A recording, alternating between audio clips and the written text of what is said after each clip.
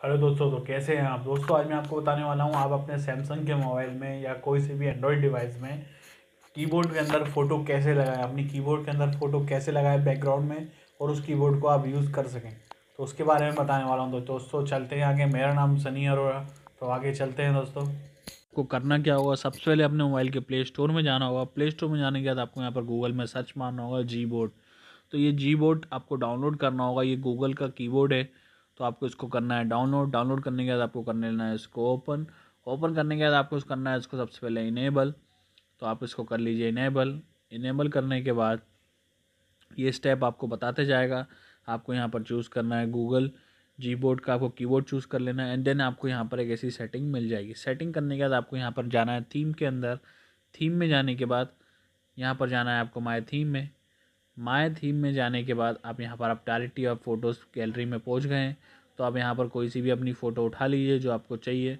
उस पर क्लिक करने के बाद आपको करना है उसको ड्रैग, जितना आपको चाहिए फ़ोटो बैकग्राउंड में, ड्रैग करने के बाद आपको कर देना है यहाँ पर नेक्स्ट। जैसे ही नेक्स्ट करेंगे, आपको यहाँ लेआउट मिल रहा है तो आप अपने हिसाब से उसको ज़्यादा कम लाइक या जैसा करना चाहते हैं तो ये करने के बाद आपको करना है इसको डन।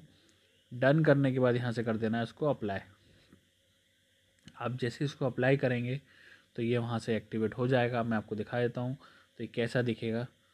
ये कीबोर्ड आप देख सकते हैं ऐसा कीबोर्ड ये देखना चालू हो गया है।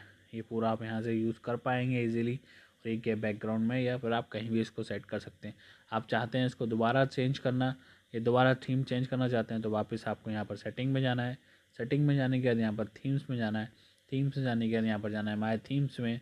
माई थीम में जाने के बाद आपको यहाँ से कर लेना है। कोई सी दूसरी फ़ोटो लाइक आपको जो सी भी फ़ोटो करनी है उसको कर लेना है सिलेक्ट सेलेक्ट करने के बाद कर लेना है ड्रैग जितनी भी आपको फ़ोटो चाहिए।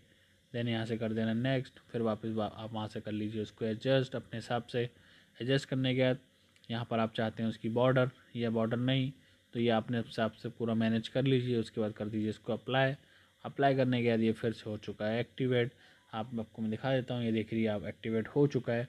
तो इसमें चलाने में भी कोई परेशानी नहीं, बहुत ईजीली आप इसको मूव करके चला सकते हैं।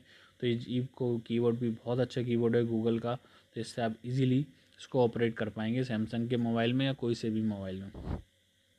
तो दोस्तों, अगर आपको ये मेरी वीडियो अच्छी लगी हो तो please like share and comment ज़रूर करें। और अभी तक आपने अगर मेरे चैनल सब्सक्राइब नहीं किया सब्सक्राइब करना ना भूलें। मैं ऐसी वीडियोस बनाता रहता हूँ ताकि आपको मेरी नेक्स्ट वीडियो की अपडेट सबसे पहले मिले।